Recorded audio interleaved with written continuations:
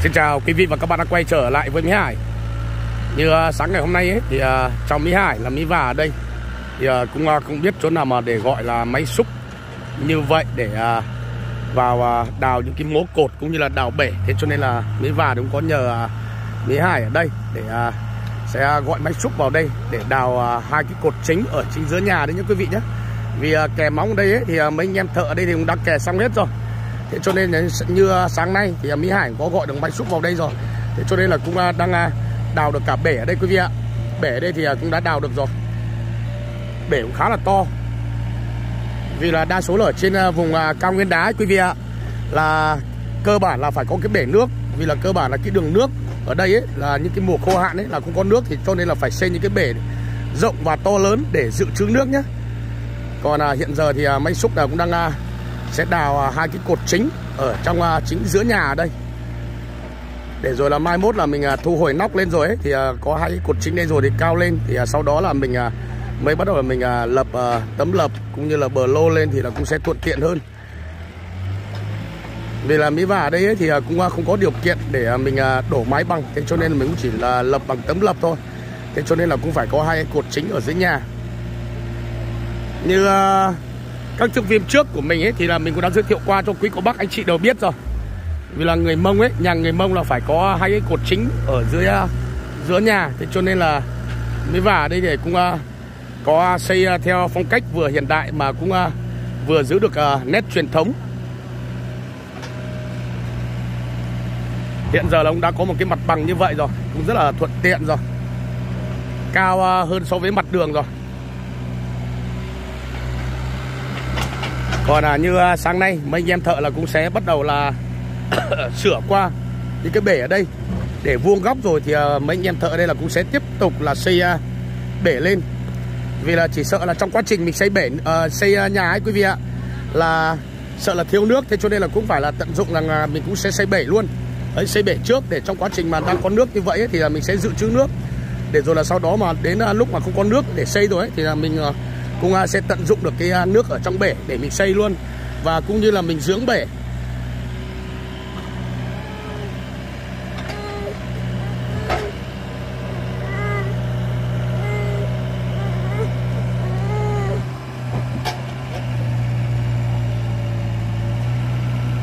Như à, ngày xưa ấy thì cũng chưa có máy móc hiện đại thì cũng chỉ đào móng nhà thì là cũng chỉ dùng bằng tay thôi. Thế cho nên là bây giờ là cũng uh, dùng bằng công nghệ hết rồi.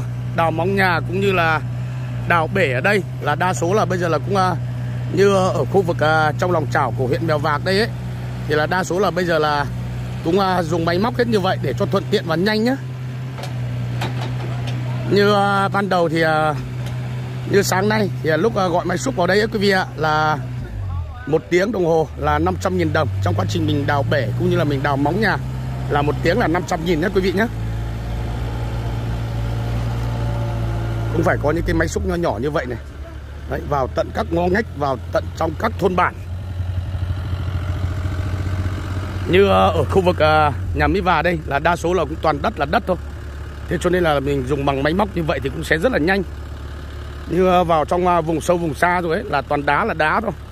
Thế cho nên là cũng phải là có sự trợ giúp của bà con à, dân bản thân thương để à, mình à, sẽ lên những cái máy khoan rồi là sau đó là mình sẽ nêm và mình sẽ đập đi.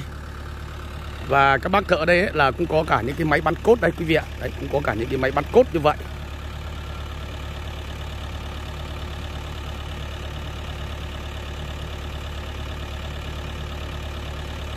Nếu mà mình không dùng bằng máy bắn cốt đây ấy, thì mình cũng chỉ lấy những cái tí ô nước để mình kéo à, vô ly nước thôi. Nhưng à, bây giờ là cũng có cả những cái máy bắn cốt như vậy rồi thì là mình sẽ không cần là những cái vô ly nước mà máy bắn cốt mình sẽ đặt một góc đây. Rồi là mình sẽ à, dọi thẳng xuống dưới thì sẽ có một cái mặt phẳng thì cực kỳ là chuẩn xác quý vị ạ.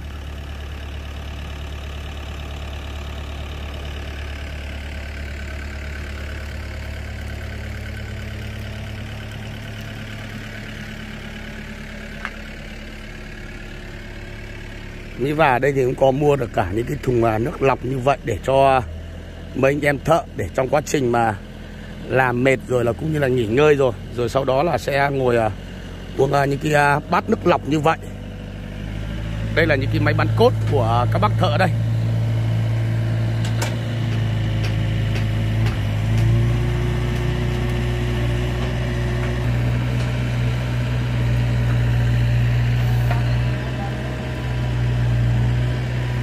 Còn là em đang à, thu à, dây à, thước mét kia. Là trưởng thôn ở trong gia đình nhà ba cháu một côi Trực tiếp là thợ cả ở đây. Đào như vậy là cũng sẽ rất là nhanh. Đây là một cái cột chính Và một cái cột chính ở bên kia. Như nhà Mỹ Và đây là cũng sẽ làm dạng nhà ba gian.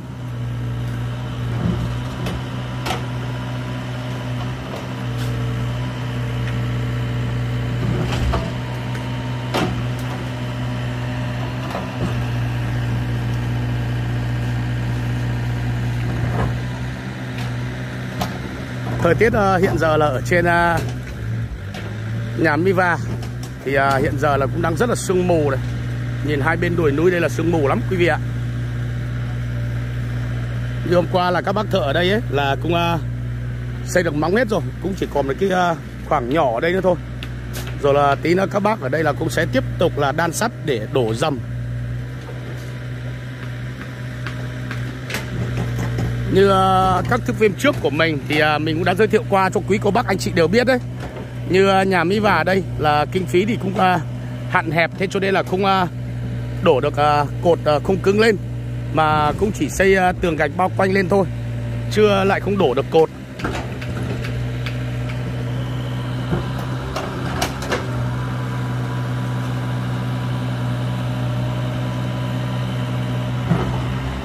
Nền nhà của Mỹ Và đây ấy, là cũng à, rất là hẹp quý vị ạ. Là không được vuông góc. Thế cho nên là cong ăn cong, thẳng ăn thẳng. Được à, hai gian bên này thì sẽ à, vuông góc. Và còn cái gian đầu hồi bên kia Là Phía mặt tiền thì rộng. Nhưng mà được cái là Còn ở phía đằng đuôi này. Đấy, dạng đuôi chuột đấy quý vị ạ Là cũng rất là hẹp. Thế cho nên là cong ăn cong thẳng thẳng. Có một cái gian buồng bên này Gian thò bên này là cũng hơi bị hẹp, thế cho nên là cũng bắt buộc theo thế, địa hình địa thế thôi. Vì là cái ờ, đất của mình đây là mình cũng không ờ, được vuông. Còn ờ, hiện giờ thì trưởng thôn là cũng đang rắc những cái bột đá như vậy để đánh dấu ký hiệu. Trong quá trình mà xây lên cũng như là đổ dầm và để những cái ô cửa sổ để mình chia ra.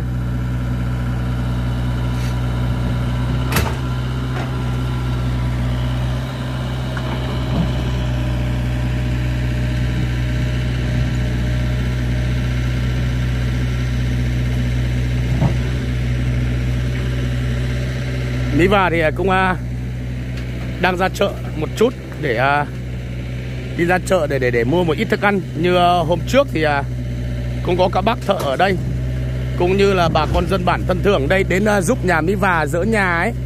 Thì uh, Mỹ Và thì cũng uh, chưa mời cơm được. Thế cho nên là hôm nay coi như là xong cái phần móng. Thì uh, Mỹ Và là cũng tiện thể là mời uh, mấy anh em thợ ở đây cũng như là các bác uh, bà con dân bản ở đây hôm uh, giúp à, uh, dỡ nhà để mời uh, bữa cơm.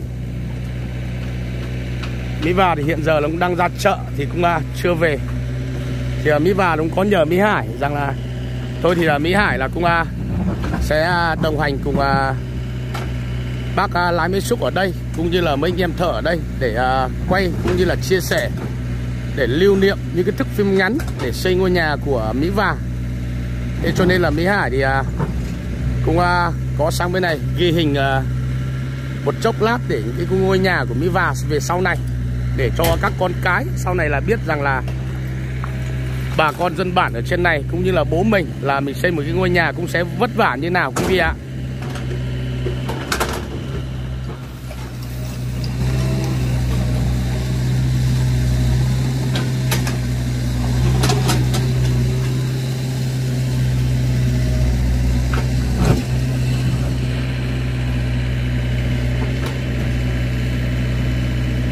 Trưởng thôn đấy là bác thợ cả, Thế cho nên là cũng à, sẽ trực tiếp giám sát cũng như là đo đạc.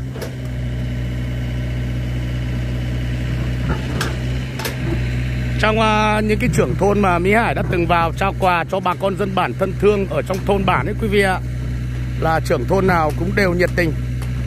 Cũng rất là nhiệt tình và trưởng thôn nào cũng đều biết xây nhé, quý vị nhé.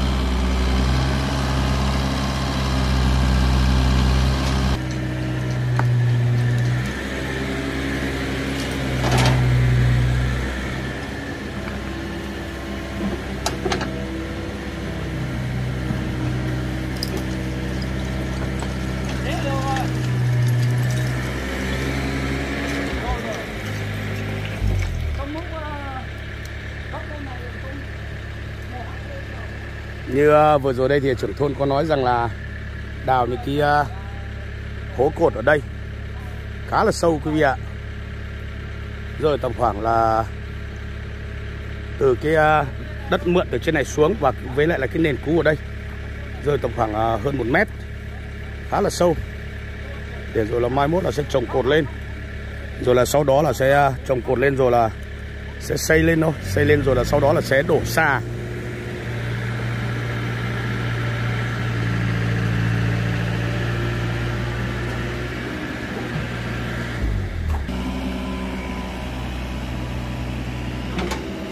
Còn à, bể thì à, cũng đã đào xong được rồi nhé Nhưng à, theo lời chia sẻ của trưởng thôn ở đây ấy Là ở đây là cũng sẽ đổ một cái hiên tây ra.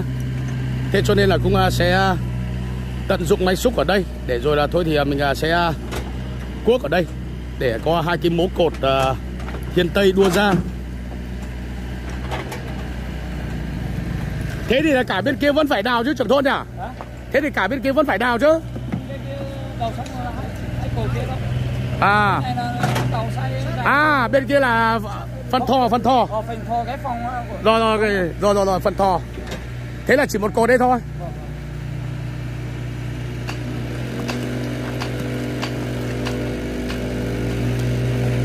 Rồi rồi rồi rồi cố thêm một gầu nữa cho gọn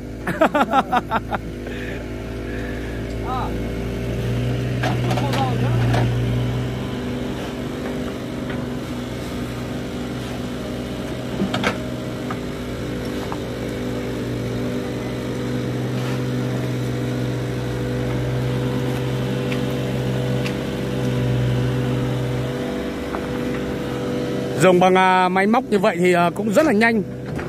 Nếu mà dùng bằng sức người mà đào được một cái bể như vậy thì à, ít ra là nếu mà chục người chục người đào thì rơi vào tầm khoảng là gần 2 ngày thì chắc là cái bể này là mới xong được.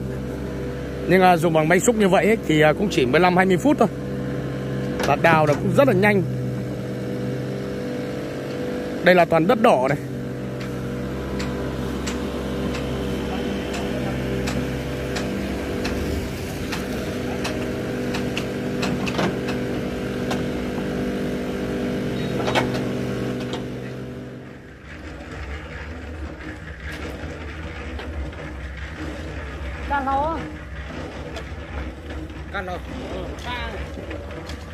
Nó bảo cái uống nó có đây ta căn nào tốt cho kia. Này sỏ này chào đây căn nào nằm mua từ một tạch đào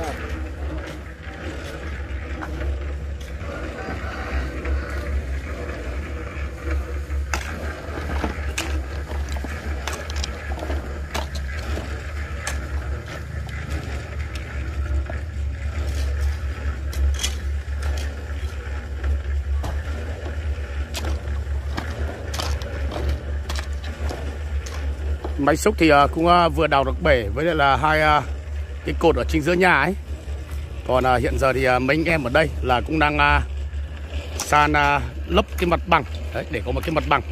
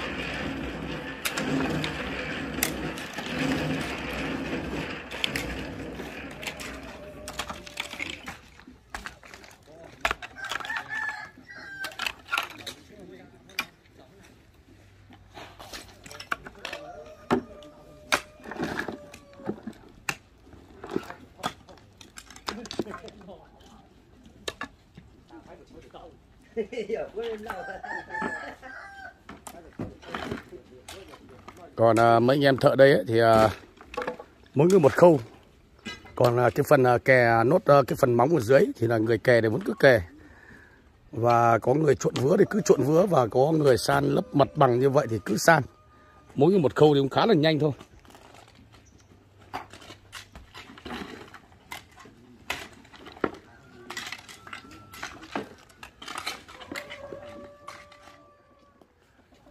Còn à, ở đây ấy, thì à, cháu Mỹ Hải là Mỹ Và ấy, thì à, cũng à, vừa đi chợ về.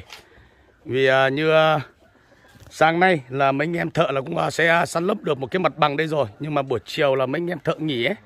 Thế cho nên là Mỹ Và thì cũng vừa đi chợ về để à, mua ít thức ăn. Cảm ơn à, như à, hôm trước là cũng có các à, bà con dân bản thân thường đấy ấy, là cũng có đến à, giúp giữa nhà thì à, Mỹ Và là cũng chưa mời được cơm.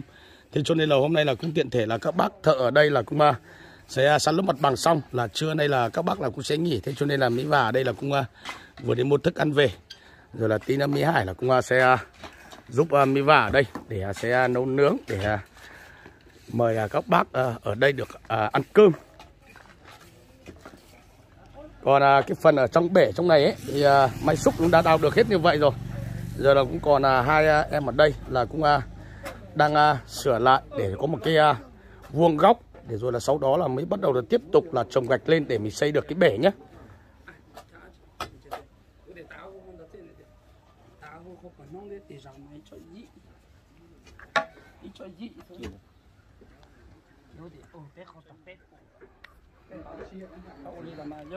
nhưng mà trưởng thôn với lại là mỹ và này không biết tiếng à, phổ thông mà sao cứ nói bằng phát xong ngăn thôi. Bà con lại không hiểu. Cân mồm nói. cân mồm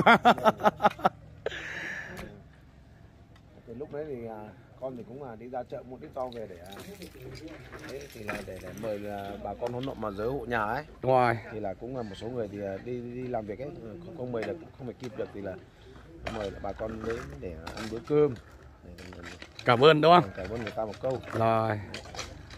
Mà hôm nay là móng biết là cũng là hoàn thiện móng rồi. Hoàn thiện rồi. Thế thì nhanh rồi. Còn cái phần mà bắt đầu là xây lên đấy cũng khá là nhanh đâu mỹ và đây thì nhanh thôi. Nhanh thôi. bây giờ là còn cái phần là, là đào bể xây bể lên nữa là con là hoàn thiện. Rồi hoàn thiện được phần bên dưới. Đúng rồi. Đây là đang đào à, cột. để trôn cột. Như cột chính này. Vâng. Khá sâu ấy. Bởi vì đến giờ này cũng vừa đến cái chỗ à, đất nguyên thổ nó thôi đúng rồi.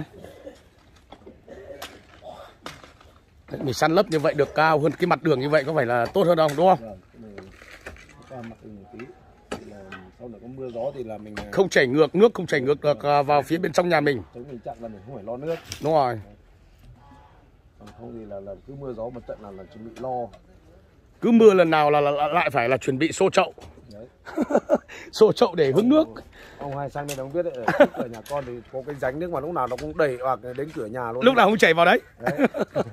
má nối một dưới một dưới kìa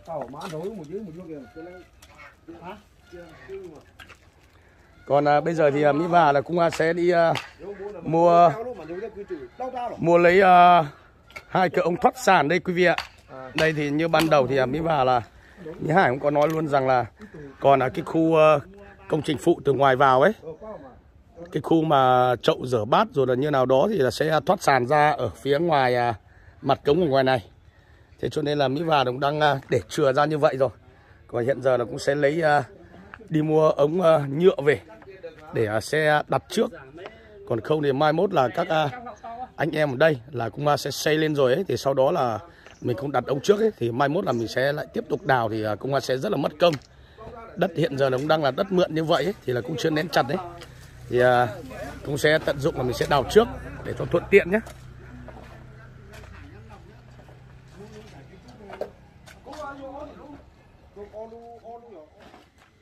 Bể đào nhanh nhánh nhở để đào nhanh thôi mà Hình như là chưa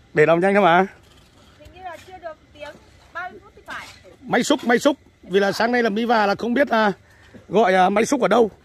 Thuê máy xúc ở đâu thế cho nên là sáng nay là mỹ và có gọi anh bảo là thôi thì là anh biết chỗ ấy để đi thuê máy xúc thì là sẽ gọi máy xúc về đây đào. Nếu còn không đào tay như vậy thì bao giờ mới xong được? Đào tay á phải 3 4 ngày.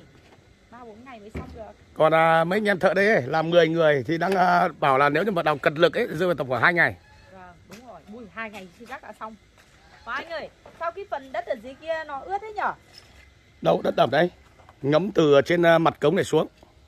Lúc đào xuống ấy, đang bị dò dỉ ở trên mặt cống trên này này.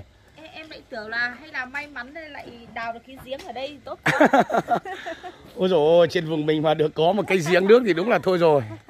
thấy đào này vừa đào có nước kìa à, thấy nước bắt đầu ngấm dần đấy Đấy nước trên này này, nước ngấm là ngấm từ trên này xuống này. Các bác rửa tay trên này này. Thế là, ngấm xuống. Nếu mà đất này mà đào được giếng thì tốt quá. ui nếu mà góc kia mà đào được cái giếng thì dùng thoải mái Đúng rồi. Đây Sang trước là cũng có à, bơm về nhà dùng trước là cũng có các à, bác này đến khoan ở dưới hai cái cây lát này này. à Anh cũng có khoan giếng đây rồi mà không có nước, có không có. đấy cái phần dưới này mà nó mà cứ như này ấy là đào xuống khoảng à, hai chục mét nữa thì Đúng rồi. là nước mà cứ xảy ra thì tốt quá Nhìn cái nền nhà mà toàn đất của nhà Mỹ Và đây này. Chị, anh chỉ ước mơ rằng là ngôi nhà mà cái nền đất của bên nhà bố mẹ vợ mình ấy, à vâng. bên nhà ông bà ấy là được cái nền đất như này là quá thuận tiện và máy xúc sang thì đúng là rồi cái cuốc cho một lúc là hết. bên đấy mà như này thì nhà xong lâu rồi đất bên đấy mà như này thì nhà sông lâu thật ý. Do địa hình địa thế. à không biết mỹ bà định xây mấy khối nhỉ anh nhỉ Cái bể nước ở đây thì à, của Mỹ Và là rơi vào tầm khoảng là 18 khối. 18 khối à? 18 khối nước vì là cơ bản là ở đất đây ấy, là cũng à, muốn mở rộng ra nhưng mà được cái là cũng không có lối đi rồi. Vâng. Thôi 18 khối cũng là nhiều rồi tại vì nước ở đây thì vẫn về Thi thoảng thôi. còn không giống như kiểu ở trên mình Đúng rồi. không không giống như ở bên ông bà ngoại Bên ông bà là trời hơi mưa phùn một tí là phải căng bạt để mình che. Ông bà thì không có ờ, cái giọt nước nào mà gọi là kéo về đâu. Đúng rồi. Vì là khối đất bên nhà ông bà ấy như thường ngày anh hay anh à, hay vào bà con dân bản thân thương ấy chỉ mong muốn là những cái hòn đá mà hóa thành con dê để cho bà con đỡ khổ. Đúng rồi. Giả dụ như những cái hốc đá à, những, những cái hốc ấy mà để được trồng ngô ấy là cũng chỉ tưởng tượng rằng là cũng à, sẽ có là đấy là những cái à, hồ treo thôi Đấy, để cho bà con là anh đỡ khổ. là hóa thành con dê em mong hóa thành con voi Quý vị ạ, nay thì à, vợ chồng mình ấy đều cũng có sang à, ngắm à, ngôi nhà của gia đình à, Mỹ Và ở đây. Vì là ở bên nhà bố mẹ vợ mình ấy thì à, hiện giờ là cũng à, các bác thợ ấy là cũng đang có công việc riêng thế cho nên là các bác thợ thì cũng đang nghỉ. Thế cho nên là Mỹ Và thì cũng à, không biết là gọi à, máy xúc ở đâu ấy. Thì Mỹ Và cũng có nhờ mình rằng là cũng sẽ đến à, gọi giúp máy xúc vào đây để à, cào cuốc bể ở đây. Đấy, bể đây thì hiện giờ là đã sửa xong một rất là vuông góc rồi. chắc mỹ bà xây gạch thôi nhỉ anh nhỉ Xây gạch thôi. tại vì để nhỏ nên không cần phải xây đá đâu mà Đúng rồi, xây gạch thôi. để to thì mới phải xây đá Để to thì mới cần là phải xây đá. Xây đá thì sẽ rất là chắc. Đây, cột thì đã đào được rồi đây. Sâu chưa nhá? thế là gần xong thì móng rồi nhanh thì em hai ba mươi cái gần xong sâu chưa nhá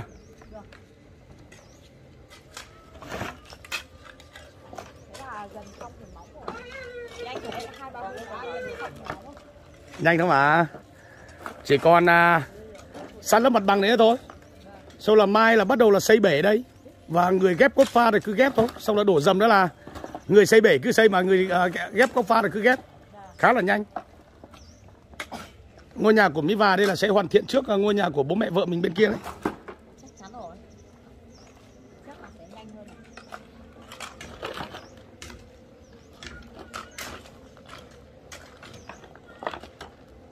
Khá là nhanh thôi.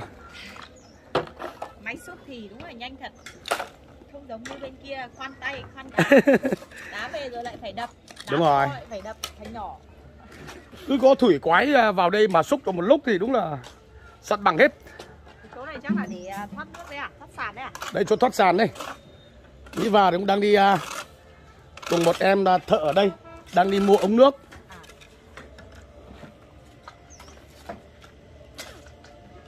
Chỉ mới tội là đất nhà Mỹ Và đây là hơi hẹp hẹp quá. Thôi thế là rộng lắm rồi so với hà nội là rộng lắm rồi. So với Hà Nội là rộng lắm rồi à? Hơi hẹp Nội thì chỉ tầm khoảng à, ba bốn mươi mét vuông là đã. Ba bốn mét vuông là có tiền rồi đấy đúng không? Vâng như ở trên này thì chỗ này là chắc cũng phải được khoảng à, sáu sáu bảy mươi mét vuông chứ nhỉ? Gần được uh, 70 mét vuông. Vâng. Gần được thôi. Vì là đã trừ mất ờ, một mét hai hiên tây nữa rồi. Còn nếu mà còn trong lòng là chưa, chưa không được. Tầm một 60 mét vuông thôi. Mà nhà lại đông con. Có vẻ là thiếu à, thiếu nhà bếp. Thiếu bếp. Có bếp ăn. Đúng rồi vì là cái khu đất ở phía bên dưới kia kìa là không phải của nhà Mỹ Va rồi. Đấy cũng chỉ còn một cái lối nhỏ nhỏ ở đây thôi đủ uh, một cái công trình phụ để đủ đặt cái máy giặt thôi. À, lại không phải rồi. Em nếu mà nhà Mỹ Va mà có phía đằng sau nữa thì tốt.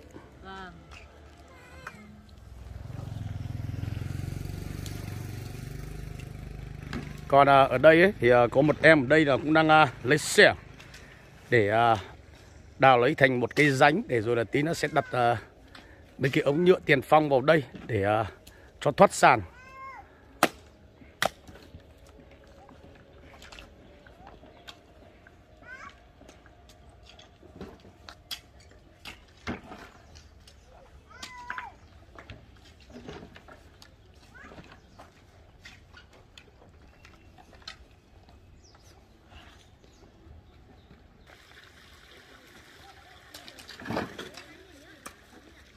Trong vòng à, buổi sáng ấy thì à, mấy anh em thợ ở đây ấy thì à, cũng đã san được cái nền đây thì cũng gần xong rồi. Thì còn hiện giờ ấy, thì Mỹ Hải là cũng sẽ giúp cháu Mỹ Hải là Mỹ Và ở đây để nấu cơm. Có lẽ là để tiện cho Mỹ Hải giúp Mỹ Và để nấu cơm ấy. Có lẽ là Mỹ Hải cũng xin kết thúc video của Mỹ Hải tại đây. Xin chào và hẹn gặp lại quý vị và các bạn trong những video tiếp theo của Mỹ Hải nhé.